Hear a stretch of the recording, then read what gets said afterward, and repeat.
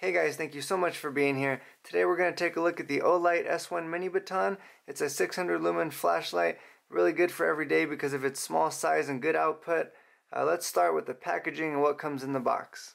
So let's start by taking a look at the outside.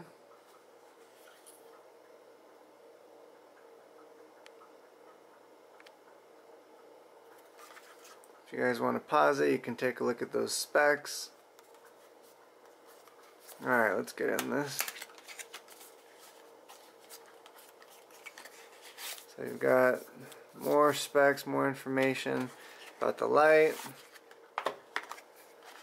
Some some advertisement for some of their other lights.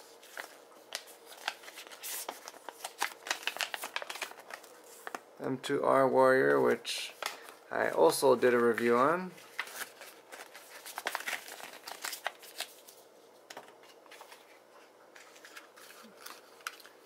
So right here you've got a little Olight lanyard or something like that.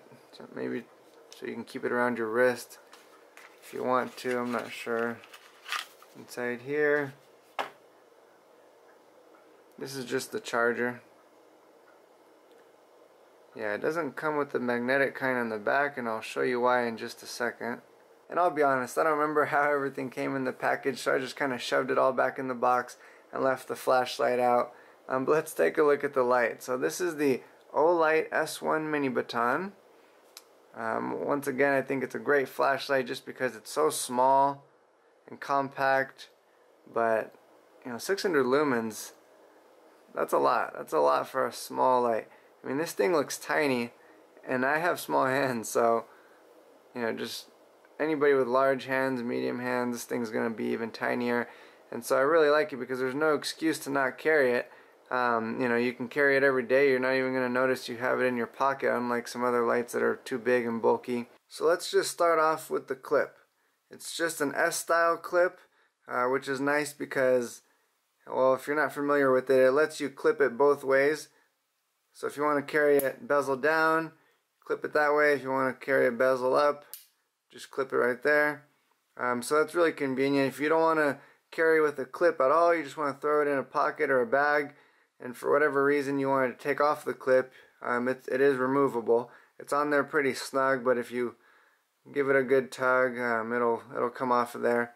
Um, and then what's really cool about this style clip too, since you can point in any direction, is you can make a, let's just pretend this was the bill of your hat. Um, it makes a very convenient headlamp. So say you just need to go hands-free for whatever, need to work on your car, or um, just something, there's a lot of things where you need two hands. And so you could just clip it on the bill of your hat, and this thing is so little and lightweight that it won't even uh, weigh, weigh down your hat or anything, or make it get in your face, fall down. Um, it's just a perfect little light um, for that. Now moving on to the body of the flashlight, um, it's I believe it's 6061 T6 aluminum, which is um, very good, like lightweight, high grade, tough aluminum, and um, I believe it's got like some sort of hard anodized finish to it. Um, this black finish, which is uh, really nice because what that does is it just helps keep um, this the metal from like rusting or corroding in any way because this is waterproof too. It's completely waterproof. In fact this will um, work perfectly fine underwater. Now I don't know to how many feet so don't go like deep diving or anything with it. But um, if you drop it in a puddle or in, you know whatever the sink you don't have to worry about it getting messed up because it is waterproof and it is fully functional underwater as well. Um, you've got the classic blue Olight ring that they do. Um, it's just kind of like their signature. And then this has like a new um, texturing design that they did on this. Um, I personally like it a lot. I think it looks good. Um, gives you a good grip. You know, this thing's little, so you want to make sure it's not too slick. Um, but it gives you a good grip. You can grab onto it well. Alright, so next we'll talk about um, the function and how it works. It's got the one thumb button here. It's the only button on the light. Um, Olight does a really good job of uh, making it very simple. Um, it's not all complex with all kinds of buttons and you know all kinds of different settings. Um, normally, even if they do have more than one setting on a flashlight, it's very easy to access. So, anyways, with that being said, all you do is click this once to turn it on. It's gonna, not going to look all that bright because I've got all of these um, lights right here, but and the camera does a really good job of equaling the lighting out. But anyways, so when you turn it on once, it just goes to whatever setting you left it at last. And then if you hold this, it'll cycle through the different brightness settings. And when you're on the brightest one, if you double click, it'll go to turbo, which is like the max. Which probably doesn't look much brighter, but it's a good, you know, it's solid 600 lumen output there. And if, um, when you're outside or even when I don't have all these lights on, um, it, you can really tell how bright this is for such a small flashlight. Anyways, if you wanted to go to moonlight mode, um, from the off position, if you hold it, let me see if I can even get it to show up. If you hold it from the off position, that's moonlight.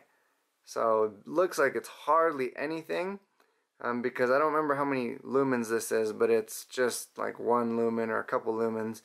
Um, but what the moonlight is good for is say you're, you know, waking up at night and you don't want to shine a bright light in everybody's face or wake anybody um, up and you just need to walk down the hall. You could just turn on the moonlight mode and it's enough to be able to see and get your way around without uh, making everything too bright or giving away your position or anything like that. Um, or like I said, just waking people up. That's basically it for the function of the light. Uh, it's very simple and easy to use. Um, it may have some other settings. I'm not 100% sure. I didn't completely read through it, but that's the basic function.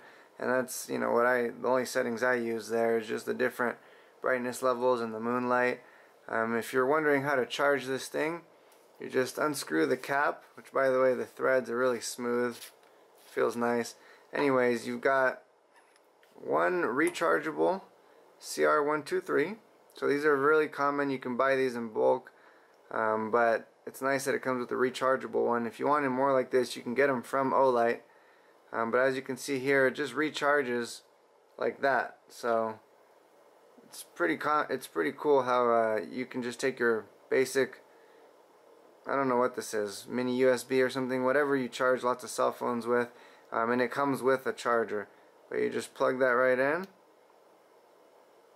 and then it has a little light that'll turn red on the actual battery itself when it's charging and then uh, it turns green when it's fully charged. So anyways that's really convenient. You know if you just get a couple more of those and then say you're going backpacking or you're going camping you don't even have to bring a charger because you can just charge them all up at home bring them with you um, go through you know all your batteries if you even need that many because one lasts quite a while but if you're camping for a week just go through a couple of your batteries and when you get home you just recharge all of them and you're good to go. You don't have to spend any more money. Uh, once you get a couple of those rechargeable batteries you're all set. We're gonna head outside so I can actually show you how the light performs. I can tell you all about it um, but I want you to actually be able to see the beam pattern the output the spill and and you know judge for yourself. Um, but I think it's a really good light just for how small it is and just for the sake of having something else to compare it to um, we're gonna take the Olight M2R Warrior as well which is more like a tactical everyday light. It's got the switch on the back um, all kinds of different settings. This thing's amazing.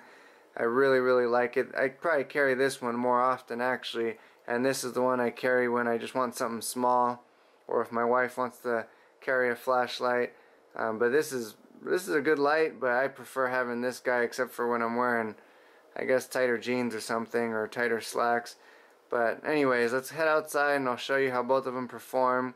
And you'll see that even though it doesn't compare to the big one, for the size and the fact that you're not carrying around a heavy light, this thing's really good. We're starting off small with the S1 mini baton. Now I'm out here on this hill looking upwards towards the top of this ridge. And so it's kind of hard to see the the flood and the beam pattern but you can kind of tell the hot spot is pretty big all the way up top there at that ridge doesn't look very far but that's actually 45 yards so you can tell that this tiny light lights up the top of that ridge pretty good. I mean, I'm on full power here, but still 45 yards with this tiny light and you can see pretty clearly up at the top of that ridge. This is the M2R Warrior. I mean, it doesn't even, it's not even close. So this thing is on full power and obviously it's much brighter. I mean, I'm pointing it all the way up to the ridge. Once again, that's 45 yards. It's super bright. All kinds of bushes in the way, but you know, if I go closer, you can tell how bright it is. And the camera actually doesn't make it look as bright as it really is. But once again, this thing is just super powerful. Good hot spot, tons of flood. You see I can go all the way to the side before you start to not be able to see anything. So you got the hot spot in the middle and all the flood on the sides. So it's really good. Obviously this light is much bigger, but it's really not that much bigger for how much power you're getting out of it. I mean, it's 10, you know, it's like four or five times bigger than the little one, but it's so much more powerful. And then if you're closer, this is only like 10 yards away, and it looks ridiculously bright. Once again, here's the little S1 mini baton. I mean, it still reaches out to the ridge there, which is 45 yards, but obviously it's not as bright as the big one, but it still looks pretty good considering how small this light is. And once again, this is it up close. That's only about 10 yards away. You can tell how bright it is.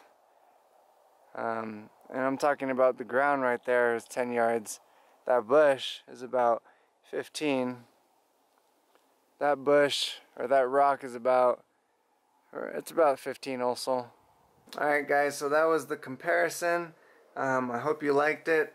You know, I, you can obviously tell that the M2R Warrior is way brighter, but um, for you have to just keep in mind that the S1 baton or S1 mini baton is so small that it's you know even though it doesn't compare to the Warrior, the M2R Warrior, it's super super good light just because of the size. You know, I mean for one, it costs less, it's way smaller, it's lighter doesn't take up you know any space in your pocket really.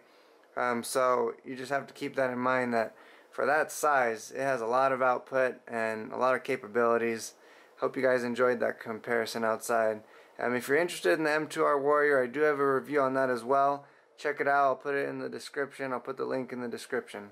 Another thing I forgot to mention that's really cool about this light is that the tail cap end is magnetic and it's pretty strong too. So it's another cool way for you to be able to go hands-free if you need to work on your car or work on something. And if you just have any metal surface around, this will really stick and it's strong. It's not going to fall off. So uh, you can put this on at different angles um, and, and it'll do a good job of staying there for you and that way you can work on whatever you need to work on and you can just angle the light however you need it. And so it's just another really cool feature that Olight um, puts in this flashlight. So you get so many cool little features in a tiny flashlight. Um, and it's not a bad price either. For something high quality like this that's built to last, I think it's a good price. And in case you guys are wondering how much it costs, um, I believe, well I got it for about 50 bucks. Um, I think they may have been doing a little sale. I don't remember. Um, but you know, typically it's it's not much more than that. I don't think, even at full MSRP.